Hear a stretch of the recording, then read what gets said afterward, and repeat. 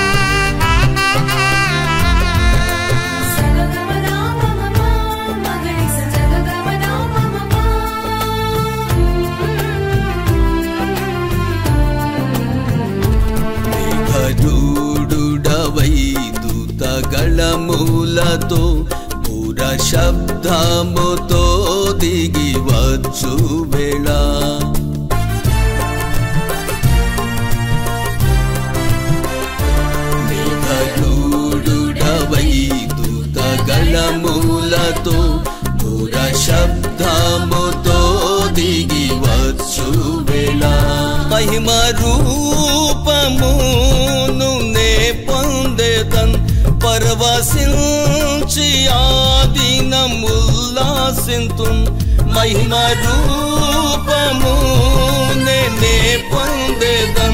పరవశించి ఆదినం ఉల్లాసింతుం మాధ్యాకాశమునకు కొనిపోబడుదు. మాధ్యాకాశమునకు కొనిపోబడుదు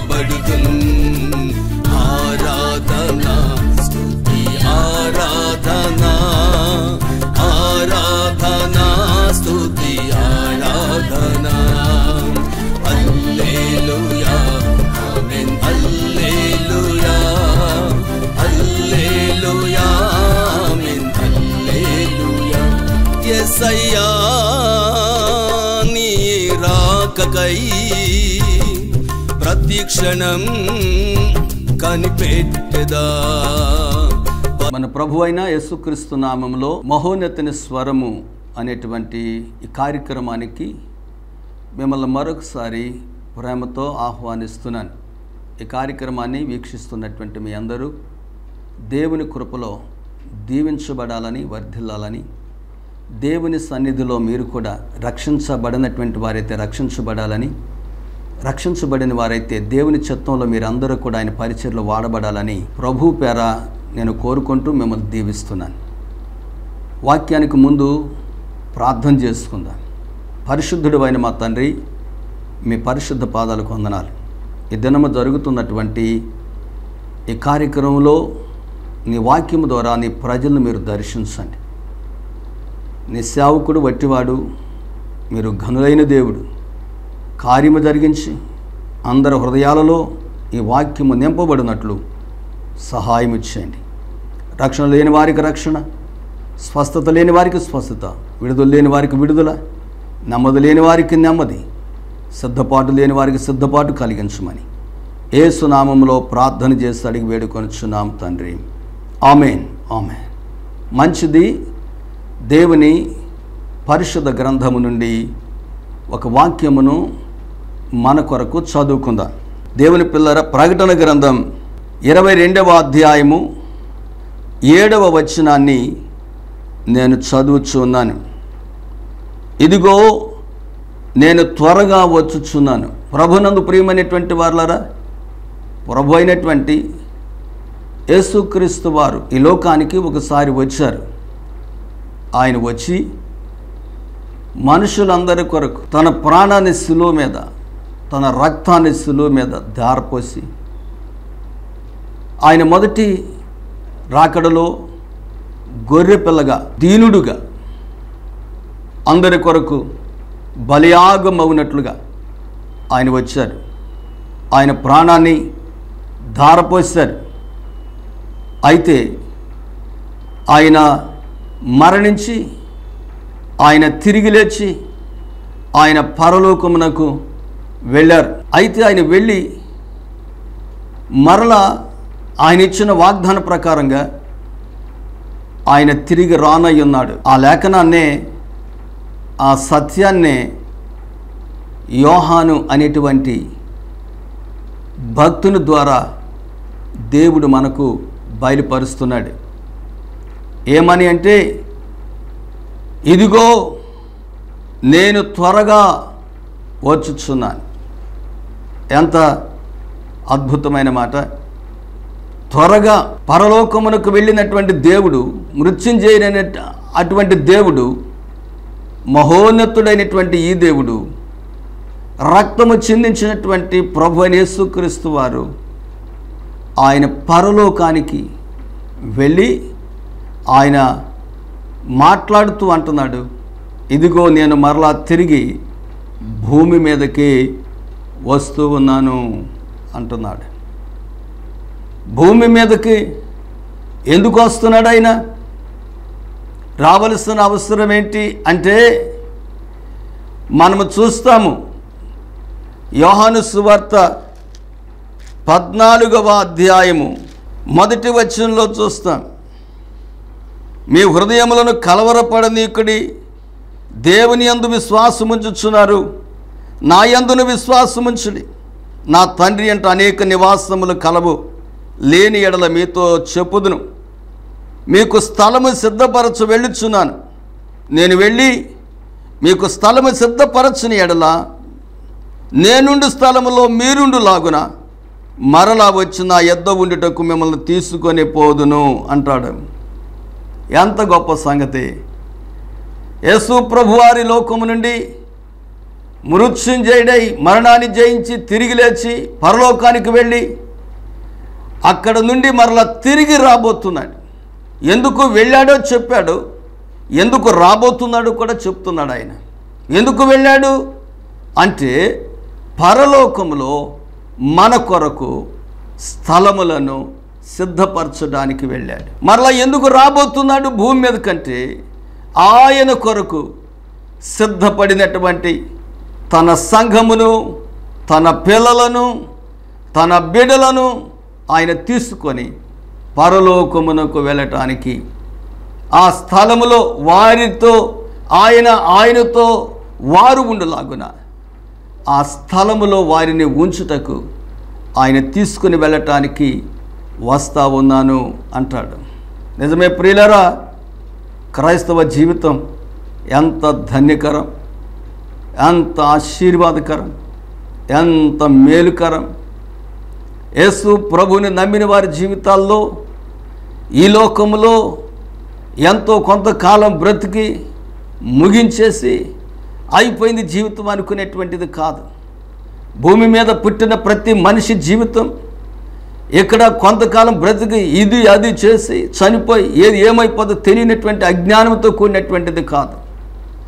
మానవుని యొక్క జీవితం భూమి మీద ముగించిన పిదప మరొక లోకము మనిషి కొరకు ఎదురు చూస్తూ ఉంది. దేవుని నమ్మినటువంటి వారైతే వారి కొరకు పరలోక రాజ్యము ఎదురు చూస్తూ ఉంది. దేవుని నమ్మని వారికైతే నిత్య నరకము వారి కొరకు ఎదురు చూస్తూ ఉంది. అందుకే ప్రభు అనేసు క్రీస్తు వారు ప్రయాసపడి భారము మోసుకొనిచున్న సమస్య జిల్లారా నా ఎందుకు రండి? నేను మీకు విశ్రాంతి కలిగినటువంటి స్థలాన్ని ఇస్తానని చెప్పని చెప్తాడు. మత పదకొండు ఇరవై ఎనిమిదిలో అలాగనే యశాగ్రంథం నలభై ఐదు ఇరవై రెండులు అంటాడు. భూదిగంత నివాసులారా నా దగ్గరకు రండి నా వైపు చూడండి మీకు రక్షణ కలుగుతుందని చెప్పని ఆయన తెలియజేస్తాడు. నిజంగా ఈనాడు అనేక మంది దైవజనుల ద్వారా ప్రవక్తల ద్వారా యాజకుల ద్వారా కాపర్ల ద్వారా సువార్థికుల ద్వారా అపోస్తుల ద్వారా ప్రవక్తుల ద్వారా దేవుడు ఈ సత్యాలను లోకములో ఉన్న ప్రతి మనిషి దగ్గరకు తీసుకొని వెళతా ఉన్నాడు. యేసు ప్రభువారు రానయ్యున్నాడు. ఉన్నాడు ఎందుకు ఆయన వస్తున్నాడు అంటే తనను అంగీకరించిన వారు తన రక్తము చేత కడగబడినటువంటి సంఘమును ఆయన తీసుకొని వెళ్ళిపోవటానికి ఆయన రాబోతున్నాడు అనేటువంటి సత్యాన్ని నేను మీకు జ్ఞాపకం చేస్తూ ఉన్నాను. ప్రియులరా ఆయన వస్తానన్నాడు. ఆయన ఎలా వస్తాడు అంటే పేతురు పత్రికలో మనం చూస్తాం. పేతురు రాసినటువంటి రెండవ పత్రిక పేతురు రాసినటువంటి రెండవ పత్రిక మూడవ అధ్యాయం మూడవ అధ్యాయము పదవ చూస్తాం. అయితే ప్రభు దినము దొంగ వచ్చినట్లుగా వచ్చును. ఆ దినమున ఆకాశములు మహాధ్వనితో గతించిపోవును. పంచిభూతములు మిక్కటమైన వ్యాండ్రముతో లయమైపోవును. భూమియు దాని మీదున్న కృత్యములు కాలిపోవును. ఇవన్నీ ఇట్లు లయమైపోవును గనక ఆకాశములు రగులుకొని లయమైపోనట్టు పంచిభూతములు మహావేంద్రముతో కరిగిపోనట్టు దేవుని దినపు రాకడ కొరకు కనిపెట్టుచు దాన్ని ఆశతో అపేక్షించండి అంటాడు యేసు ప్రభు వారు ఎలా వస్తాడు అంటే దేవుని పిల్లలారా చాలా ఆ సీక్రెట్ కమింగ్. రహస్యముగా వస్తాడు ఆయన. దొంగ వచ్చినట్లుగా. దొంగ ఎవరికి చెప్పిరాడు కదా? అలాగే ప్రభు యేసుక్రీస్తు వారు కూడా త్వరగా త్వరగా త్వరగా వచ్చేస్తూ ఉన్నాడు. ఆయన రహస్యంగా వస్తాడు. ఎప్పుడు వస్తాడో ఎవ్వరికి తెలియనటువంటి సమయంలో ఆయన వచ్చేస్తాడు. కనుక ఆయన రాకముందు భూమి మీదకే ఆయన రాకముందు మనము ఆయన ఇచ్చినటువంటి రక్షణ ఆయన సంఘములో చేర్చబడటం మన పాపములు ఒప్పుకొని విడిచిపెట్టం అజ్ఞాన స్థితి నుండి జ్ఞానములోనికి రావటం ప్రభు అయిన యేసు క్రీస్తుని మన స్వంత రక్షకునిగా అంగీకరించటం. ఆయన నీ కొరకు చనిపోయాడని ఆయన నీ కొరకు మరణించాడని ఆయన నీ కొరకు రక్తాన్ని చిందించాడని నువ్వు నమ్మాలి. నీవు పాపివని పాపములో పుట్టావని పాపము చేస్తున్నావని పాపములోనే చనిపోతే నరకానికి వెళ్తావని నీవు నమ్మాలి. ఆ పాపపు స్థితి నుండి నీవు దేవుని వైపు క్రీస్తు వైపు మళ్ళినట్లయితే ఆయన వచ్చే ముందే నీకు ఆయన రాజ్య వారసత్వం కలుగుతూ ఉంది. ఆయన వచ్చినప్పుడు నిన్ను తీసుకొని ఆయన వెళ్ళిపోతాడు. రెండవదిగా ఆయన ఎలా వస్తాడో మనము చూస్తే దేవుని పిల్లలరా ఆయన ఎలా వస్తాడో చూస్తే టెస్లోనికి రాసినటువంటి పత్రికలో టెస్లోనికి రాసినటువంటి పత్రిక మొదటి పత్రిక ఐదవ అధ్యాయము మొదటి తెస్లోనికి రాసిన పత్రిక ఐదవ అధ్యాయము మూడవ చదువుతున్నాను. లోకులు నెమ్మదిగా ఉన్నది భయమేమీ లేదని చెప్పుకొని చుండగా గర్భిణీ స్త్రీకి ప్రసవేదన వచ్చినట్లు వారికి అకస్మాత్తుగా నాశనము తటస్థించును గనుక వారంత మాత్రమును తప్పించుకొనలేరు. సహోదరులారా ఆ దినము దొంగ వలె మీ మీదకు వచ్చుట మీరు. చీకటిలో ఉన్నవారు కారు. మీరందరూ వెలుగు సంబంధులు పగటి సంబంధులునై ఉన్నారు. మనము రాత్రి వారము కామో చీకటి వారము కాము. కావున ఇతరుల వలె నిద్రపోక మెలుకువగా ఉండి మత్తులు కాక ఎందుమో దేవునికి స్తోత్రములు కలుగును కాక ప్రభునందు ప్రియమైనటువంటి బిడలారా ఈ వాక్యం ఎంచున్నటువంటి సహోదరి సహోదరులారా ప్రభు అయిన యేసుక్రీస్తు వారు రెండవదిగా ఎలా వస్తాడని చెప్పబడిందంటే గర్భిణీ స్త్రీకి ప్రసవ నొప్పులు వచ్చినట్లుగా అకస్మాత్తుగా లోకమంతా నెమ్మదిగా ఉంది ఏం పర్వాలేదు అన్నట్లుగా ఉన్న టైంలో అకస్మాత్తుగా ఆ పురుటు నొప్పులు వచ్చినట్లుగా ప్రభు అయిన యేసుక్రీస్తు వారు ఈ లోకంలోనికి రానయ్యున్నాడు. అనుకొనని టైంలో అనుకొనని గడియలో అనుకొనని సమయంలో ప్రభు అయిన యేసుక్రీస్తు వారు రానయ్యున్నాడు. ఆయన వచ్చినప్పుడు నీవు రక్షణ పొందకపోతే ఆయన నిన్ను ఈ లోకంలో విడిచిపెట్టేస్తాడు. అదే నీవు రక్షణ పొందిన వ్యక్తివైతే ఆయన నిన్ను మహిమ దేహముతో పరలోకమునకు తీసుకొని వెళతాడు.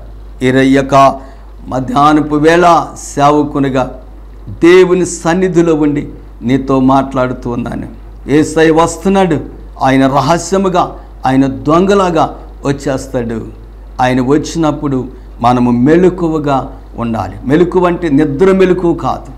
మెలకు అంటే నిద్రపోవటం అనేది కాదు. నిద్రపోతూ పొనుకుంటాం కాదు. మెలకు అంటే నిద్ర నుంచి లేవటం కాదు కానీ మనము పాపపు స్థితిని విడిచిపెట్టి మోసపు స్థితిని విడిచిపెట్టి అజ్ఞానపు స్థితిని విడిచిపెట్టి నాశనకరమైన బ్రతుకుని విడిచిపెట్టి అజ్ఞానపు స్థితినంతా విడిచిపెట్టి ప్రభు నేసుక్రీస్తుని స్వరక్షకునిగా అంగీకరించి రక్షించబడటం.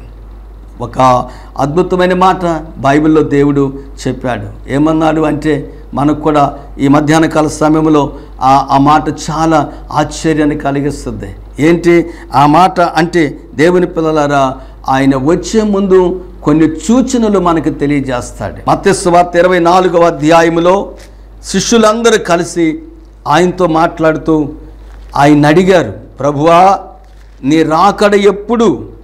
అని ఆయన అడుగుతారు. నీ రాకడ ఎప్పుడు? ఎప్పుడు వస్తావు ప్రభువా? అని ఆయన అడుగుతారు. ఆ వాక్యం నేను చదువుతాను చూడండి. కొన్ని సూచనలు చెప్పాడు ఆయన.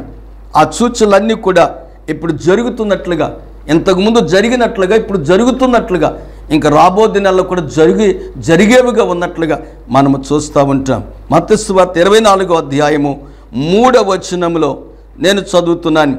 ఆయన ఒలివుల కొండ మీద కూర్చుని ఉన్నప్పుడు శిష్యులు ఆయన ఎద్దుకు ఏకాంతముగా వచ్చి ఇవి ఎప్పుడు జరుగును? నీ రాకడియు యుగ సమాప్తికి చూచలేవని మాతో చెప్పమనగా యేసువారి తిట్లను. ఎవడు మిమ్మల్ని మోసపరచకుండా చూచుకొనడి. అనేకులు నా పేరట వచ్చి నేనే క్రీస్తునని చెప్పి పలువురిని మోసపరచుదురు. మరియు మీరు యుద్ధములను గూర్చియో యుద్ధ సమాచారాలు గూర్చియో వినబోదురు. మీరు కలవరపడకుండా చూచుకోండి. ఇవి జరగవలసినది కానీ అంతం వెంటనే రాదు. జనం మీదకి జనము రాజ్యం మీదకి రాజ్యము లేచును. అక్కడక్కడ కరువులు భూకంపములు కలుగును. ఇవన్నీ వేదనలకు ప్రారంభము. అప్పుడు జనులు మిమ్మల్ని శ్రమల పాలు చేసి చంపెదరు. మీరు నా నామము నిమిత్తము సకల జనుల చేత ద్వేషించబడదురు. అనేకులు అభ్యంతరపడి ఒక్కనొక్కడు అప్పగించు అప్పగించుకుని ఒక్కనొక్కడు ద్వేషింతురు. అనేకులైన అబద్ధ ప్రవక్తలు వచ్చి పలువురిని మోసపరచెదరు. అక్రమం విస్తరించడం చేత అనేకులు ప్రేమ చల్లారును. అంతవరకు సహించిన వాడెవడో వాడే రక్షించబడును. మరియు ఈ రాజ్య సువార్త సకల జనులకు సాక్షార్థమై లోకమందంతటా ప్రకటించబడును. అటు తర్వాత అంతము వచ్చున ప్రభునందు ప్రియమైనటువంటి వాళ్ళారా దేవుని సన్నిధిలో దేవుడు మనతో అద్భుతమైన సత్యాలను చెప్తున్నాడు. ఏంటంటే ఆయన రాకడకు ముందు శిష్యులు అడుగుతారు ఎలా ఉంటుంది పొజిషన్? ఎలా వస్తారు? ఎప్పుడు వస్తారు? ఏ టైంలో వస్తారు? అని చెప్పని అడుగుతూ ఉన్నప్పుడు ఆయన చెప్తూ వస్తున్నారు. ఏమనంటే ఇదిగో నేను రాకముందు భూమి మీద ఇలాంటి సూచిక క్రియలు జరుగుతాయి. ఇలాంటి విషయాలు జరుగుతాయి. ఏమి జరుగుతాయి? అని అంటే దేవుని పిల్లరా మోసపరిచే వాళ్ళు బయలుదేరతారు. మనుషులు మోసం చేసేవాళ్ళు బయలుదేరతారు. సంఘాలను మోసం చేసేవాళ్ళు బయలుదేరతారు. దేవుని పిల్లరా నేనే క్రీస్తునని చెప్పేటువంటి అబద్ధ బోధకులు అబద్ధ ప్రవక్తలు బయలుదేరతారు. వాళ్ళు వస్తారు. అయితే మీరు మోసపోకుండా చూసుకోండి అంటాడు. అంతేకాకుండా ఆయన రెండో విషయాన్ని చెప్తాడు. ఏంటంటే యుద్ధముల గురించి యుద్ధ సమాచారాల గురించి.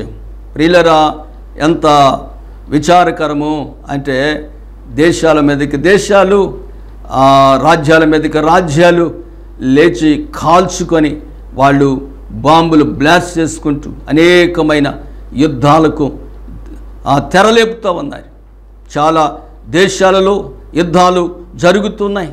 చాలా ప్రాంతాల్లో యుద్ధాలు జరుగుతున్నట్లుగా మనం చూస్తాం ఇంతకుముందు జరిగినాయి ఇప్పుడు కూడా జరుగుతూ ఉన్నట్లుగా మనము చూస్తూ ఉన్నాము. అంతేకాకుండా ప్రియులరా జనం మీదకి జనం రాజ్యం మీదకి రాజ్యాలు వేస్తాయని అక్కడక్కడ కరువులు భూకంపాలు జరుగుతాయని మనము లేఖనాల్లో ప్రభు సూచనలుగా చెప్పారు. అవన్నీ కూడా ఇప్పుడు జరుగుతూ ఉన్నాయి. అంటే దీని అర్థం ఏంటి? ప్రభు అనేసుక్రీస్తు వారు త్వరగా రానయ్యున్నాడనేటువంటి సూచన ఆ సందేశాన్ని మనకు అందిస్తూ ఉన్నాడు. అంతేకాకుండా ప్రియులరా మనుషులు అనేక మంది అభ్యంతరపడి ఒకరినొకరు అప్పగించుకుంటారు. క్రైస్తవులకి శ్రమలు ద్వేషించబట్టం అవమానపరచబట్టం క్రైస్తవుల్ని హింసించటం జరుగుతూ వస్తూ ఉంది. అనేక మంది అబద్ధ ప్రవక్తలు వస్తారు మోసపరచడానికి. అని పదకొండవ వచనం చెప్పబడింది. అంతేకాకుండా దేవుని పిల్లర అక్రమము విస్తరించడం చేత అనేక మందిలో ప్రేమ చల్లారిపోతుంది. దేవుని ప్రేమ మనుషుల్లో ఈనాడు కొదువైపోతూ ఉంది. దేవుని ప్రేమలో మనుషుడు ఉండలేకపోతున్నాడు. మనుషుడు మానవ ప్రేమను కలిగి ఉన్నాడు. మనుషుడు దురాత్మ ప్రేమను కలిగి ఉన్నాడు. మనుషుడు చీకటి ప్రేమను కలిగి ఉన్నాడు. మనుషుడు బాహ్యపరమైన ప్రేమను కలిగి ఉన్నాడు. కానీ దైవ సంబంధమైనటువంటి ఆ ప్రేమను కలిగిన వాడుగా కనిపించట్లేదు. కనుక ఎందుకు అంటే అక్రమం ఎక్కువైపోయింది. లోకంలో ఎక్కడ చూసినా అక్రమాలే అన్యాయాలే మోసాలే దగాలే ఒకరినొకరు కించిపరచుకోవటమే కీడి చేసుకోవటమే ఒకరి క్షేమాన్ని మరొకరు కోరుకునే విధం కనిపించినంతగా లోకం నశించిపోయేంతగా లోకం దిగజారిపోయినట్లుగా మనము చూస్తున్నాం. దీనినే దేవాది దేవుడు అంటాడు అంత్య దినాలువే అంత్య దినాలు చివరి దినాలు కడవరి దినాలు ఏసై వచ్చేటువంటి దినాలివి అన్నట్లుగా దేవాది దేవుడు మాట్లాడుతూ ఉన్నాడు. ప్రియమైనటువంటి సోదరి సోదరుడ ఈ భయంకరమైన దినాలలో దేవాది దేవుడు రానయ్యున్నాడు ఆయన వచ్చేస్తా ఉన్నాడు. అనుకున్న గడియల్లో దొంగవలే ప్రసవేదన పడినటువంటి పురుటు నొప్పులు వచ్చినట్లుగా వచ్చేస్తున్నాడు. కనుక దేవుని పిల్లరా మరి మనమైతే ఏం చేయాలి అంటే మనం ఆయన రాకడ కొరకు ఈ లోకములో సిద్ధపడిన వారముగా ఉండాలి అని నేను జ్ఞాపకం చేస్తున్న సేవకునిగా పద్నాలుగో వచ్చిన చూస్తే మరియు ఈ రాజ్య సువార్త సకల జనులకు సాక్షార్థమై లోకమందంతట ప్రకటించబడును. ఆ తర్వాత అంతము వచ్చును. ఈ లోకానికి ఒక అంతం ఉంది. ఈ లోకానికి ఒక ఆరంభం ఎలాగైతే ఉందో ఈ లోకానికి అంతము కూడా ఉంది. ప్రియులరా మనం ఆరాధిస్తున్నటువంటి దేవాది దేవుడు మన ప్రభు అయితే ఎలాంటి వాడంటే ఆదిలో ఉన్నాడు అనగా ఆరంభములో ఉన్నాడు. ఇది అంతమైపోయి కూడా ఉంటాడు. కనుక అందుకంటాడు అల్ఫా ఓమేఘం నేనే మొదటి వాడను కడపటి వాడను నేనే అని దేవాది దేవుడు తెలియచేస్తున్నట్లుగా మనము చూస్తూ ఉన్నాము. కనుక ఈ లోకమందంతటా ఆయన రాజ్య సువార్త ప్రకటించబడాలి. ఆ తర్వాత అంతము వస్తూ ఉందంటే ప్రభు అయిన యేసు క్రీస్తు వారు ఈ లోకంలోనికి వచ్చి తన సంఘమును తీసుకొని వెళ్ళిపోతాడు అని తర్వాత ఈ లోకానికి అంతము జరిగిపోతుంది అని ఘోరాతి ఘోరమైన పరిణామాన్ని ఈ లోకం చూడిపోతుందని లేఖనాలు మనకు తెలియజేస్తూ ఉన్నాయి. కనుక ప్రభు యేసుక్రీస్తు వారు వచ్చే ముందే మనము ప్రభు అయిన యేసుక్రీస్తుని స్వరక్షకునిగా అంగీకరిద్దాము. అంతేకాదు ప్రియమైనటువంటి వాళ్ళరా ఈ దినాలు ఎలాంటివంటే ఆఖరి దినాలని అంత్య దినాలని చూస్తున్నాం. ఈ దినాల్లో మనుషులు ఎలా తయారైపోతారంటే బైబిల్ చెప్తుంది బైబిల్ చెప్తుంది చూడండి తిమోతికి రాసిన రెండవ పత్రిక మూడవ అధ్యాయము. మొదటి వచనం నుండి కొన్ని వచనాలు చదువుతాను.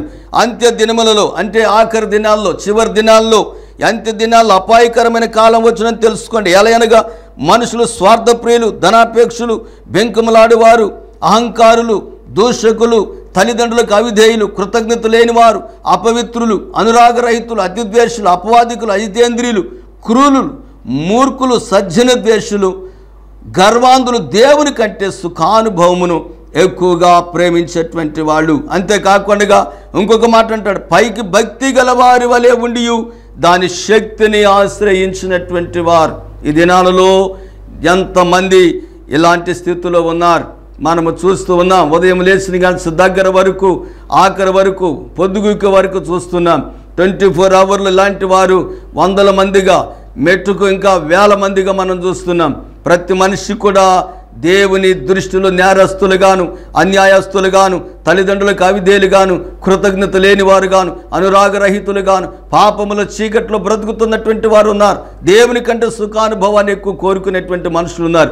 భక్తి లేని వారు భక్తి అనేటువంటి వేషం వేసుకొని భక్తి లేనటువంటి వారు ఉన్నట్లుగా బైబిల్ మనకు సాక్ష్యం ఇస్తుంది. అలాగనే లోకంలో మనము అనేక మందిని చూస్తూ ఉన్నాం. కనుక నా ప్రియమైనటువంటి దేవుని పిల్లలారా ఈ దినమందు దేవుని సేవకునిగా నేను తెలియజేస్తున్నాను. ఇలాంటి స్థితి నీలో ఉంటే మరలా మరొకసారి తిమోతికి రెండవ పత్రికలో మూడో అధ్యాయం చదువుకో. అక్కడ ఉన్నటువంటి విధంలో నీవున్నట్లయితే వెంటనే నీవు ఆ స్థితి నుండి బయటికి రా. ఎందుకంటే యేసు ప్రభువారు త్వరగా వచ్చుచున్నాడు. ఆయన వచ్చినప్పుడు నీవు రక్షించబడితే నీవెంత ధన్యుడివో. రక్షించబడితే ఏం జరుగుతుంది? అంటే ప్రియులర ప్రకటన గ్రంథం చూడండి. నేను ఆ లేఖనాన్ని చదువుతున్నాను. ప్రకటన గ్రంథం ఏడవ అధ్యాయము. ప్రకటన గ్రంథం ఏడవ అధ్యాయము. రక్షించబడితే మనకేం కలుగుతుంది? అంటే పదమూడవ వచ్చిన పదమూడవ వచ్చిన చూడండి. పెద్దలలో ఒకడు తెల్లని వస్త్రములు ధరించుకున్న వీరెవరు? ఎక్కడి నుండి వచ్చిరో నన్ను అడిగాను. అందుకు నేను అయ్యా నీకే తెలియననగా అతడు నాతో ఇలాగ చెప్పిన. వీరు మహాశ్రమల నుండి వచ్చిన వారు.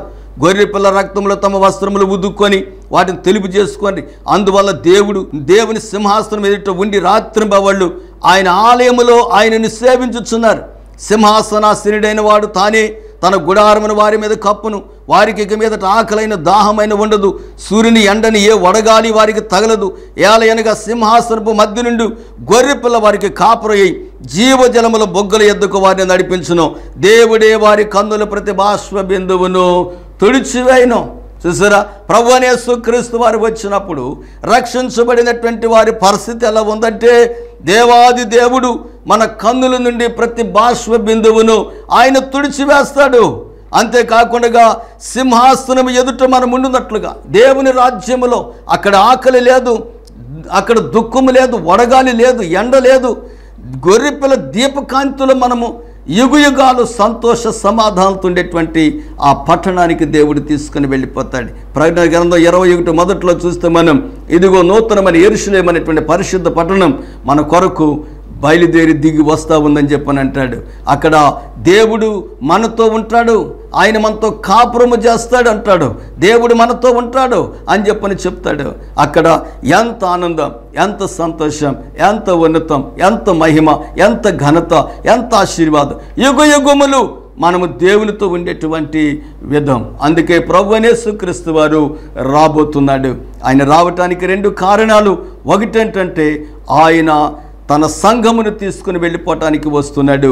రెండవది ఏంటంటే ఆయనను అంగీకరించిన అంగీకరించినటువంటి వారిని విడిచిపెట్టి వారిని నరకమునకు అప్పగించి శ్రమలకు అప్పగించి వెళ్ళిపోవటానికి ఆయన వస్తున్నాడు. కనుక ఆయన అంటున్నాడు ఇదిగో నేను త్వరగా వచ్చుచున్నాను. ఒక మాట చెబుతాను సోదరుడా దయచేసి గమనించు ఆయన రాకడలో నువ్వు గనక ఎత్తబడకపోతే నువ్వు విడవబడితే మరి ప్రకటన గ్రంథం ఏడో అధ్యాయం నుంచి తొమ్మిది అధ్యాయం వరకు ఉండేటువంటి శ్రమలలో నువ్వు ఉండిపోగలవు. అక్కడ ఆ భూమి బద్దలై పాతాళం నుంచి మిడతలు బయటకు వచ్చి అవన్నీ కూడా నేను హింసించేటట్టు ఒక తేలు మనిషిని కుడితే ఎంత బాధ ఆరు నెలలు అంత బాధ. మనుషుడు మరణాన్ని వెతుకుతాడు కానీ మరణం మనిషికి దొరకదని చెప్పబడింది. అంత ఘోరమైన స్థితిలోనికి నువ్వు వెళ్ళకుండా ఉండాలి అని దేవుడు నీతో మాట్లాడుతున్నాడు. కనుక ఆయన వచ్చే సమయానికి నీవు పాపస్థితి నుండి ప్రభు యేసుక్రీస్తు రక్తము చేత కడిగి శుద్ధి చేయబడి ఆయన సన్నిధిలో నిందారహితుడిగా సంఘములో చేర్చబడి దైవజనుల సమక్షములో వాక్యం యొక్క వెలుగులో నీ జీవితాన్ని కొనసాగించు. దేవుడి నిన్ను దీవించనుగాక. Amen. దైవాశిస్సులు. May God bless you.